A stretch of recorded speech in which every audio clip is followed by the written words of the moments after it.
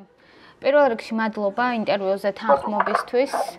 საუბარი უნდა დავიწყოთ უკრაინაში მიმდინარე არსებული ვითარების მიმოხილვით.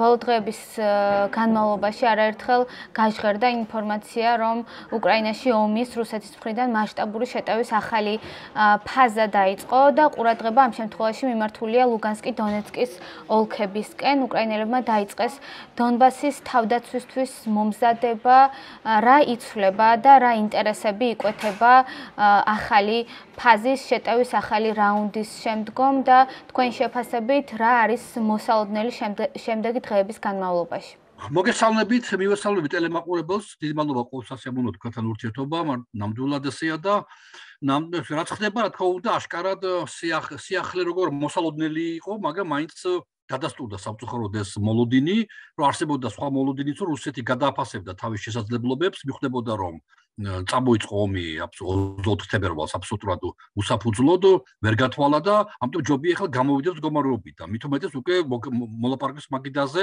უკვე იდო რაღაც გაკოული წინასწარ წინასწარ მაგალითად შეთავაზებული მხარების მიერ წინადადებები და შეიძლება აქედან გამოვიდეს რაღაც გამოედნო და ცეცხლის შეწყვეტაზე ხელი მოეწერა და შეენარჩუნებინა ის მაინც დროებით ფორმალურად რასაც დგას ეს. საციმყოფებია მაგრამ არა აღმოჩნდა რომ რუსეთმა ჩათვალა რომ მისი პირველი რაუნდი როგორც თქვენ ბრძანეთ. ეს იყო ქვია არ იყო კარგად გათვლილი.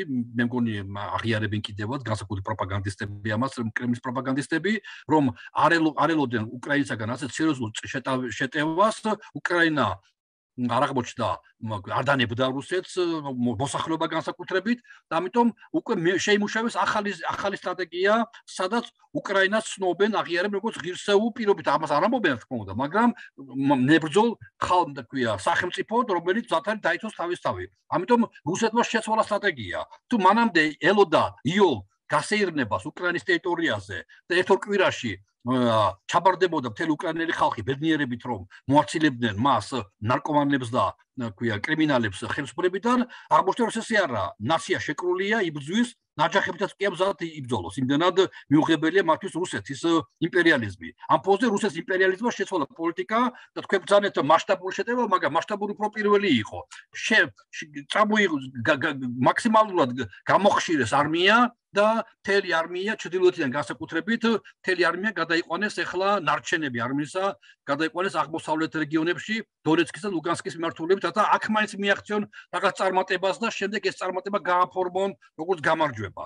ამიტომ ეხლა არის ახალი რეალობა ის რომ რუსეთმა ცნო მიიღო ინფორმაცია რომ უკრაინა ძლიერი სახელმწიფო და მასა საჭიროა სერიოზული ომი. როგორც ამერიკასთან სიტყვაზე რომ დაჭირებოდა, როგორც გერმანიასთან ასე შედა, ანუ რუსეთმა ახალი სამხედრო კონცეფცია შეიმუშავა, სადაც მოწინააღმდეგე არ ითვლება რაღაც დოკლაპია სახელმწიფო და სუ სახელმწიფო და არამედ მას ანგარიშ უწევდა შესაბამისად ბრძოლაც იქნება ძალიან სასტიკი ვიტყოდი დაუნდობელი და უკრაინამ დარწმუნებული ამას გაუძლებს ამ შემოტევას და ალბათ შეიძლება კონდეს შესაძლებლობა კონტრშეტევაზეც კი გადავიდეს იმიტომ რომ ხა უკრაინას ეხმარება მთელი მსოფლიო არა მარტო იარაღით არა მარტო იმით რომ რუსეთს უწე უტევენ ეკონომიკურად, არამედ სამხედრო კომპონენტითაც ალბათ ანუ ყავთ ჩევლები, ზვერავები, სადაზურმო ინფორმაცია, სადაც ავლენენ ახლა რუსული შემოტევის სუსტ მხარეებს, რათა შემდეგ შექმნა რაღაც ბადე და ამ ბადეში ნახონ საიდან შეიძლება უკრაინამ განახორციელოს კონტრშეტევა. თუ არ იქნება შეტევა, ვერ იქნება კონტრშეტევა.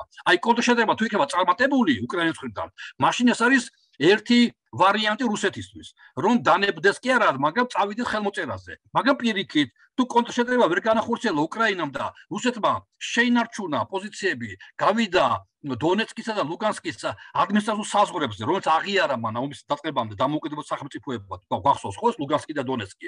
პლუს ამას თუ აიღო მარიუპოლი, ხა მარიუპოლი მოგეხსენებათ დონეცკის ოლქის ნაწილია, მაგრამ იმდენად მედგრად გაზდა, იმდენად ცალკე ქალაქი გახდა, ცალკე როგორც როგორც სიმბოლო ომისა და თუ მარიუპოლი აიღო და მაშინ კეთავს თელ აზოვის ზღვას. მაშინ შეიძლება როგორც იტყვიან ქართველები მადა ჭამაში მოდისო და შეიძლება უკვე თქვა უ რაიონად მივახციე წარმატებას მოდი ახლა ბარემ ოდესასაც ავიგებ. ანუ ამ პირველი წარმატებიდან, ან წარუმატებლობიდან, რომელიც შეიძლება მან მიიღოს და რაფასი დაუждდება, რამდენი ადამიანი დაეღუპება, რამდენი ტექნიკა გადაენგრება, სოფლიო როგორ უპასუხებს ამას ყველაფერს, იმის და მიხედვით თუ რუსეთი ჩათვლის რომ მას შეუძლია განაგძოს საბრძოლო მოქმედებები შეიძლება ჩაუყვეს სანაპიროს და გავიდეს უკვე ხერსონი აღებული აქვს ზედას და ნიკოლაევზე და მიადგეს პირდაპირ ოდესას. ეს უკვე მეორე ვარიანტი იქნება, იქიდან გამომდინება თუ რამხელა წარმატებას მიაღწევს დონეცკის და ლუგანსკის აგების შემთხვევაში.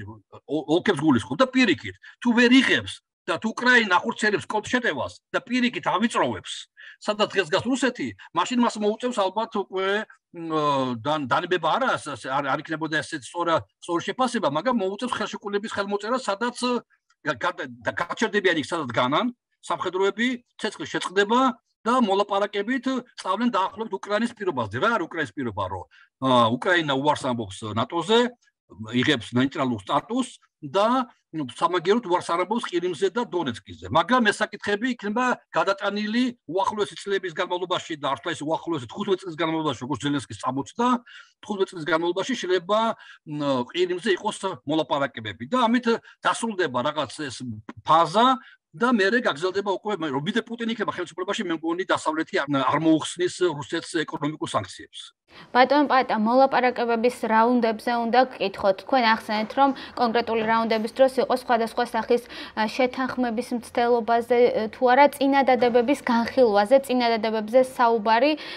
რამდენიმე საათის წინ გავრცელდა კიდევ ერთხელ ინფორმაცია, რომ უკრაინამ რუსეთისგან კვლავ მიიღო წინადადება მოლაპარაკებების ფარგლებში. თქვენი აზრით, რამდენად არის შესაძლებელი არსებული ვითარების გათვალისწინებით რომ მოლაპარაკება გაგრძელდეს და იყოს ასე ვთქვათ გარკვეული შედეგი მიღწეული სწორედ არასაბრძოლო, არაშეიარაღებული ფორმატით, არამედ სწორედ წინადადებების გაცვლა გამოცვლითა და მოლაპარაკებებით.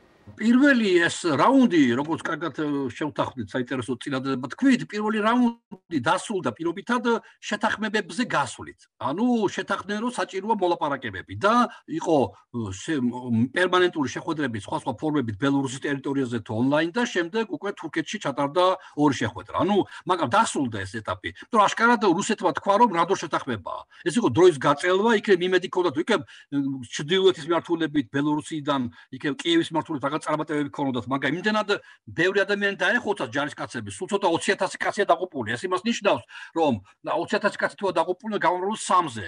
80000 კაცი, ну, დაახლოებით 60000 კაცი დაჭრილი იქნება. ну, არა ბრძოლის უნარიანია. ანუ 140000 კაცი და რომელიც შეიყვანა რუსეთმა ჯარები უკრაინის ტერიტორიაზე 100 პლუს იქ დახვდა ერთი ალბათ ერთი 20-30000 კაცი იქნებოდა დონეცკის და ლუგანსკის ხალხი და ასე შემდეგ. აი ამ პირობითად თქვა 200000 კაციდან მაქსიმუმის მაქსიმუმი სადღაც 18000 კაციდან. 40000 უკვე წომიდან გამოსულია და მათ დამატებით ხალხი არ აყავთ და სირიელებიც კი ვერ ჩამოიყვანეს ნორმალურად ხო?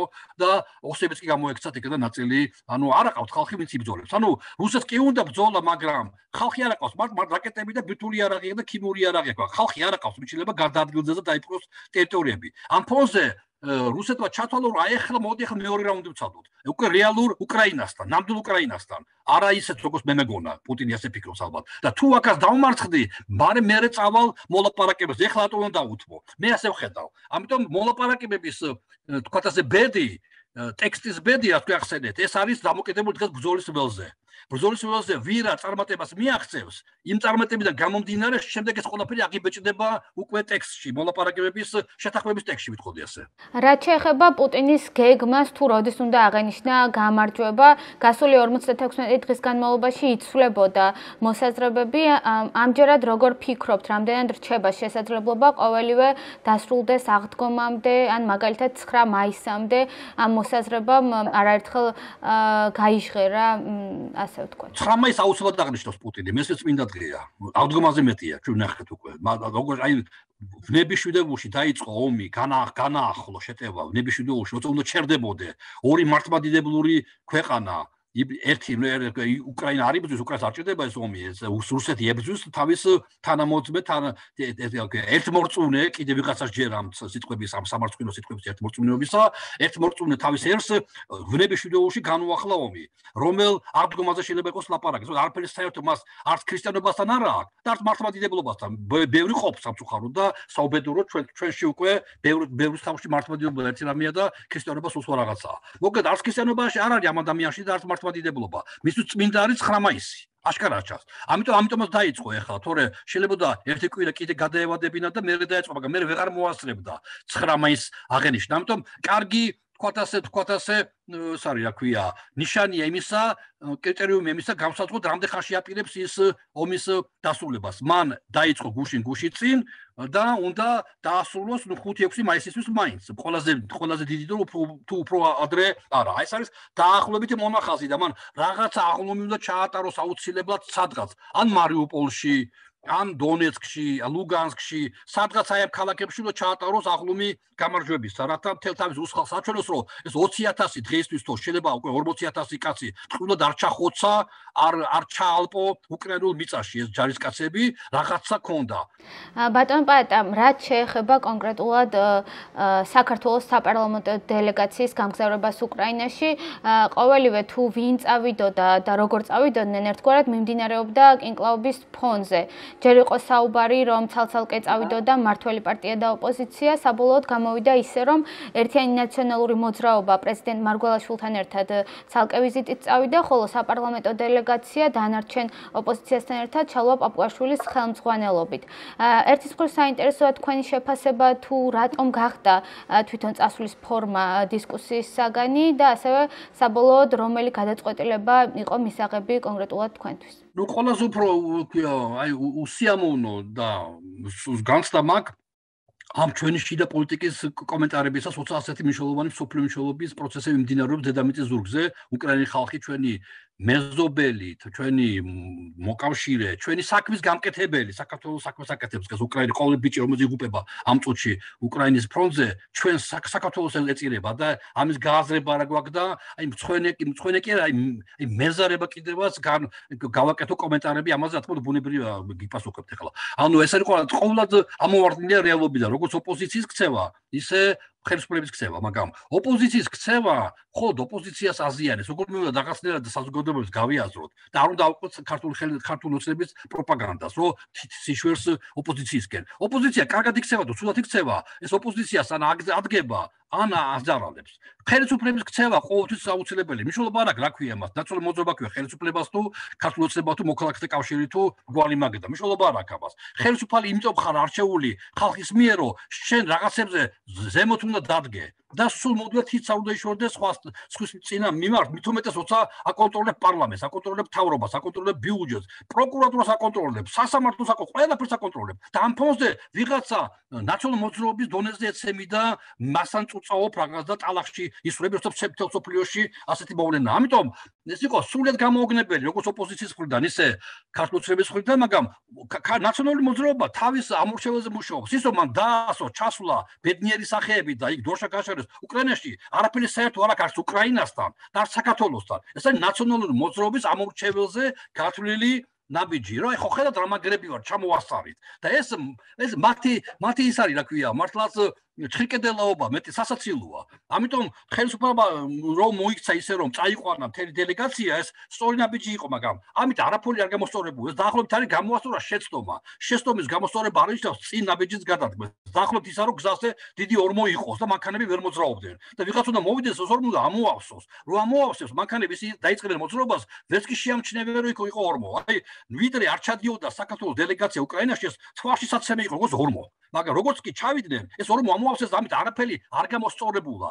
ერთადერთი გამოსწორდა შეცდომა. და მეტი არაფერი. სამწუხაროდ და საუბედუროდ ეს კინკლაობა შიდა ქართული გაგზელდება ქართულ ოცნებისთვის სიხარიბეზე მაღლა, ეკონომიკაზე მაღლა, კონფლიქტებზე მაღლა, უკრაინაზე მაღლა იქნება ეჭიდაოს ტალახში ნაციონალურ მოძრაობას და ამით გაამართლოს თავის უნარობა რა მიაკეთოს. ამით ეს გაგზელდება. შესაბამისად, გაგზელდება უკრაინაში არსებული ნაციონალური მოძრაობის წარმომადგენლების ლანძღვაგინება, მინიშნებები უკრაინის ხელისუფლებაზე. არ არის ახლა ამის დრო, მაგრამ მათ სხვა დრო არ რჩება და სხვა სხვაზე არაფერს არ ფიქრობენ. ჩვენ შეგვიძლია მოვი მოვიხმოთ ერთგვარად როგორ შეაფასეს ეს ვიზიტი მეგობრული თბილის საჭირო.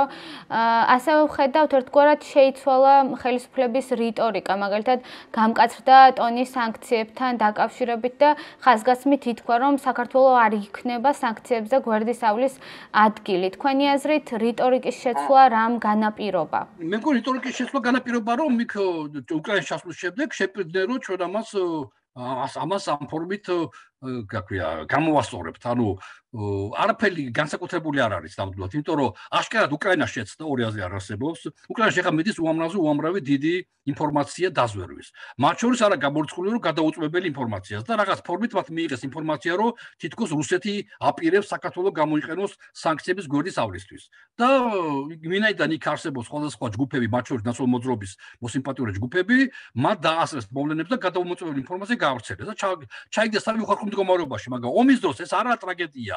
ტრაგედია უფრო ისაა, რომ ჩვენ ეს უკრაინელების უხერხული მდგომარეობა გამოვიყენეთ და კისერზე ფეხი დავაბიჯეთ. ეს იყო ცუდი. ჩვენი მხრიდან მიხვდით იმის, რომ უკრაინელები არ იყვნენ მართლები, ჩვენი ესეთი რეაქცია კიდევ უფრო უარესი იყო. კიდევ უფრო უარესი იყო. ამიტომ ეხა ამ ჩასვლის შემდეგ სიტუაცია გამოსწორდა. ისევ ისევ ამბობ, რომ შეცდომა იყო ორივე მხრიდან და ორივე შეცდომა გამოასწორეს, მაგრამ თარაფელი არ შეცვლა. ნაკვია, ყველაფერი წინა სამწუხაროდ შიდა ქართული პოლიტიკური კინკლობიდან გამომდინარე. და ამიტომ ეს არ წაადგება ზოგადად ქართ საქართველოს უკრაინის ურთიერთობებს ვიდრე ვიდრე ქართული ოცნება არ არ და არ მოეშვება ნაციონალურ მოძრობას და არ გადაერთვება სახელმწიფოს მართვაზე და სახელმწიფოს ზრუნვაზე და მუდმივად იქნება მისი თავარი ამოცანა დაამონათოს და გააშავოს ქართული ნაციონალური მოძრობა. ამიტომ საფრთხოდ მე ვხედავ რომ ამით გამოსწორდა დროებით რაღაც სიტუაცია, მაგრამ ეს არ არის სტრატეგიული, ტაქტიკური რაღაც ნაბიჯი იყო და სტრატეგიულად ყველაფერი რჩება ძველებურად. რომ ურთხათ ნაციონალურ მოძრაობას. სადაც არ იქნებიან ისინი? ვაშინგტონში, ვაშინგტონში, კიევში, კიევში. ყველგან ურთხათ, რათა ამით ამით შევქნათ განცდა ამორჩეველს, რომ ჩვენ მასზე უკეთესები ვართ. ბატონ პატა, რაც შეეხება კონკრეტულად საქართველოს პოზიციონირებას საერთაშორისო დონეზე, დღეს ჯეიმს საპატურაის მოხსენება მოვისმინეთ თბილისში. თავდაცვის კომიტეტის თავმჯდომარე მირაკლი ბერაიან ბატონ ჯეიმს აპატურაის მიმართა ციტატას ამოვიკითხავ, რომ ნატოში ინტეგრაცია არის საქართველოს მოსახლეობის ღირებულებებზე დაფუძნებული ცივილიზაციური არჩევანი, ჩვენი უსაფრთხოებისა და საგარეო პოლიტიკის უმთავრესი პრიორიტეტი. საქართველოს ნატოს გაძლიერებული ასპირანტი პარტნიორია, ფლობს ალიანსში გაწევრიანების ყველა პრაქტიკულ ინსტრუმენტს და არასდროს ყოფილა ნატოსთან ისე ახლოს, როგორც დღეს. ასევე ქვეყანაში შემდეგი დღეების განმავლობაში იგეგმება ამერიკელი კონგრესმენების ვიზიტი, რამდენიმე დღის წინ კი ევროკავშირმა თვით შეფასების კითხვარი გადმოგცა. რას ფიქრობთ ამ ყველაფერზე? ეს არის შესაძლებლობის ფანჯარა და თუ ასეა, როგორ ხედავთ? გამოიყენებს მას პირველ რიგში ხელისუფლება და ზოგადად დღევანდელი პოლიტიკური კლასი. მე მგონი ეს უფრო ლაპარაკისა და რიტორიკის დონეა, ან უკვე უარეს შემთხვევაში დემაგოგიის დონე, იმიტომ რომ ჩვენ პრაქტიკულად გარდა განცხადებებისა არაფერს არ ვაკეთებთ. ბერაემ რაც თქვა, ყველაფერი არის სადღერძელო და მეტი არაფერი. არაფერი საერთო რეალობასთან არ აქვს, იმიტომ რომ ნახეთ როგორი რეაქცია ქონდა რუსეთს ფინეთისა და შვეციის მიერ გაკეთებულ განცხადებაზე, რომ ისინი აპირებენ ნატოში გაწევრიანებას და შეიძლება მაისშიც კი მოხდეს განცხადების შეტანა ნატოს სამი ნატოს ნატოში, რათა ივნისში მადრიდის სამიტზე შეიძლება უკვე ნატო მიმშელოს ფინეთისა და შვეციის გაწევრიანებას და ამ ფონზე რუსეთი როგორ გაბრაზდა და როგორი აგრესიული განცხადებები გააკეთა. ჩვენზე საერთოდ მას არ იღებს რუსეთი, იმიტომ რომ არც არ ვაკეთებთ და კარგად იცის რომ ეს ყველაფერი ლაპარაკია და მეტი არაფერი. და თორე ჩვენ რო ვიყოთ ნამდვილად მოწოდებული, ქვია, ნატოში გაწევრიანებაზე მოქმედების დონეზე, მოქმედ არ ლაპარაკის დონეზე, მოქმედების დონეზე, მაშინ დღეს თურქეთი არის უაღრესად წარმატებული სახელმწიფო რუსეთის კონტექსში. მან ჯერ ყარაბაღში სერიოზულად შეავიწო რუსეთის ინტერესები და ხარში ამოუდგა აზერბაიჯანს და აზერბაიჯანმა თავის ამოცანების მნიშვნელოვანი ნაწილი განახორციელა ყარაბაღში და ეხლა უკრაინის კონტექსში ნახეთ თურქეთი როგორ იქცევა. თურქეთი ბაირაქტარებს აძლევს იმას, რა ქვია, უკრაინას ის კი არა და ეს როცა გემი ჩაიძირეს მოსკვა, იქ ბაირაქტარმა დაარტყა პირველი და მეორე უკვე ორმა რაკეტამ ნეპტუნმა. ანუ ბაირაქტარმა გადამწყვეტი როლი თამაშა, როცა გამოუთიშა ამ გემს ისა ლოკაცია და მეორე ლოკაციის გარეშე დარჩენილი გემი უკვე იოლა დააზიანა უკვე ორმა რაკეტამ ნეპტუნმა. ამ ფონზე ასეთი ასეთ ხარდაჭერას უცხადებს უკვე თურქეთი უკრაინას, როგორც აზერბაიჯანს გამოუცხადა. ხმას მერიღებს რუსეთი თურქეთის წინააღმდეგ. მეტიც თურქეთი ჩავიდა თქო და ფორმალური და თქვა ასე ზედაპირული და შეხვედრები ჩაატარეს თურქეთში, მაგრამ მაინც უარი ვერ უთხრას თურქეთში ჩასვლაზე და მოლაპარაკების მოლაპარაკებაში ჩართულობაზე. თურქეთი ძლიერდება როგორც სამხრეთ კავკასიაში და საქართველოს არის სამხრეთ კავკასიის სახელმწიფო და თურქეთი ძლიერდება შავ ზღვაზე და საქართველოს არის შავი ზღვის სახელმწიფო. ჩვენ იქაცა ვართ და აქაცა ვართ და თენი უბედური მეცო ჩვენ თურქეთს საერთოდ არ თანამშრომლობთ. ძალიან საინტერესო, ამიტომ მე აქ ხედავ, მე აქ ხედავ ჩავარდნას ნატოში ლაპარაკზე. ჩვენ ამერიკას ველაპარაკები და ძალიან სწორია და კარგია, ბრიუსელს ველაპარაკები ძალიან სწორია და კარგია. ბალტიისპირეთი ჩვენი უერთგულესი სახელმწიფოები არიან, მაგრამ ყველაზე უფრო თურქეთი ჩვენთან მეზობლობს თურქეთი და თურქეთს საერთოდ არ ველაპარაკებით ნატოზე. ამიტომ ვიდრე თურქეთს არ ჩავთავდა, არ გავხდით ლოკომოტივს საქართველოს ნატოში გაწევრიანებამ გაწევრიანებაზე, მანამდე გამორიცხულია პირადად მე მომეწონოს ქართველი პოლიტიკოსების სადღეგრძელოები ნატოზე. სადღეგრძელოები არ გვჭირდება, ეხლა ეხლა მოქმედებების დროა.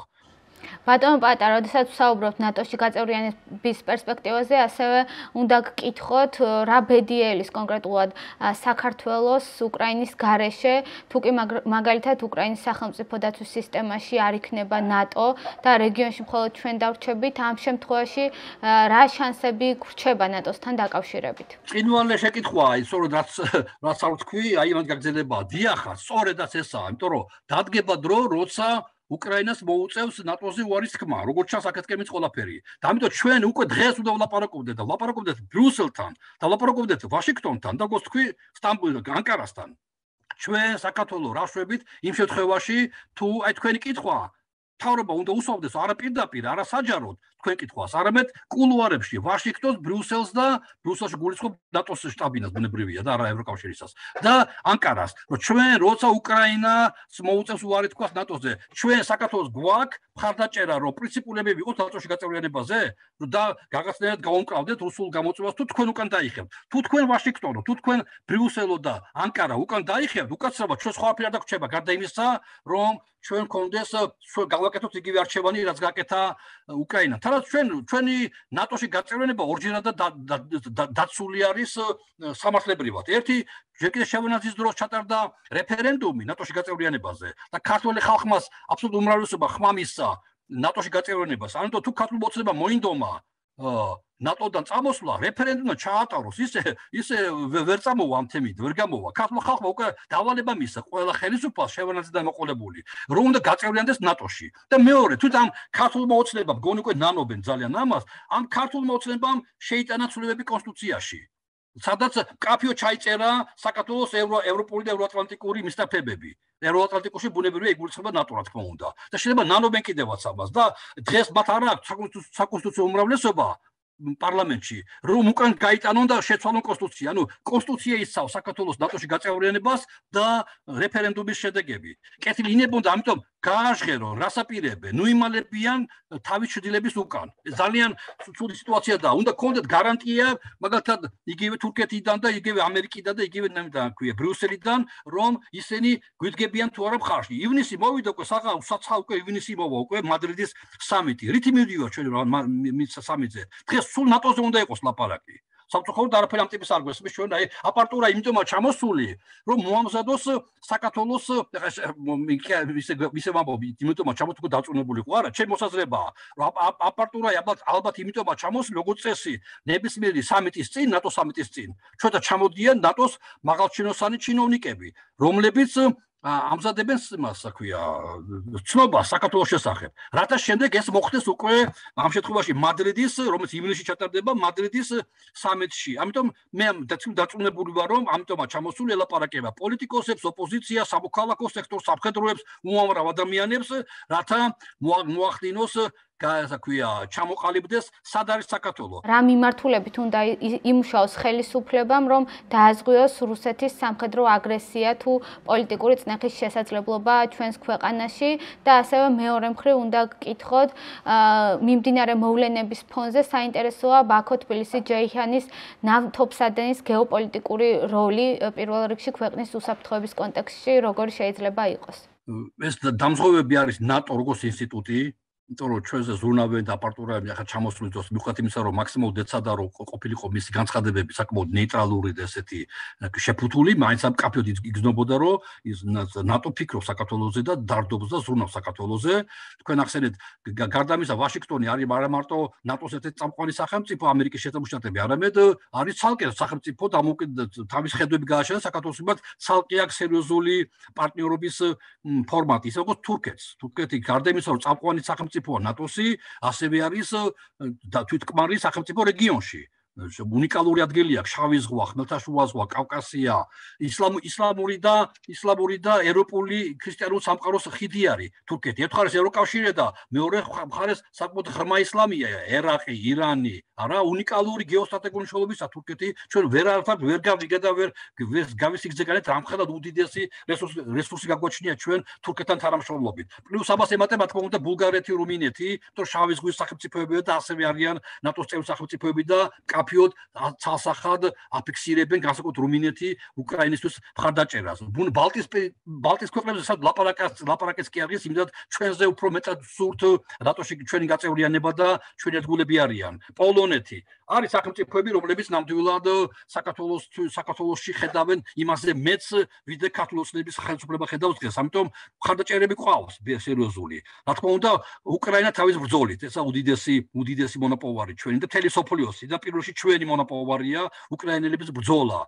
უკრაინისტვის, ბელორუსიისთვის, რუსეთისთვის, რუსეთში მოხდება სულებები მასშტაბები, რაც უკრაინა გამარჯვებს და საქართველოსთვის, რა თქმა უნდა და აშკარად ეს გავლენას მოახდენს სოფლიოში უსაფრთხოების კონცეფციაზე და შავი ზღვის რეგიონია უკრაინა, არ დაგვავიწყდეს. ამიტომ ჩვენ უშუალო და პირდაპირ გვეხება ყველაფერი ეს. ამიტომ რა თქმა უნდა, ჩვენ სასარგებლო ბევრი ბევრი ვარსკვლავი ლაგდება, სამწუხაროდ ამას ეწირება უკრაინის ხალხი სიცოცხლე, ეს არის ყველაზე დიდი ტრაგედია, რაც ყველაფერს ამას მოყვება, მაგრამ ზოგადად მის მათი გამარჯვება ჩვენი გამარჯვებაცა თუ ამას ხედავს ქართული ოცნება, მაგრამ ჯერჯერობით ჯერ კიდე ფეხსითრებენ. ამიტომ რაც ეხება ბაქო თბილისი ჯეიხანი, ეს ჩვენ ტერიტორიაზე გადის სამი უნიკალური მილსადენი, ეს არის ბაქო თბილისის სუფსა ჩვენ საკუთრება თქვა და საქართველოსი ეს უნიკალურზე უნიკალურია. ეს გვავიწყდება ხოლმე ხშირად სუფსა იმიტომ რომ მოთო დაიფაროს რაღაც იყოს რაღაც გარკვეული კოალიცია სერიოზული ხედავ სოფლიოში რა ხდება. და გაჩერდეს მაგალითად ორი სხვა მილი ახლა შევეხები მათაც.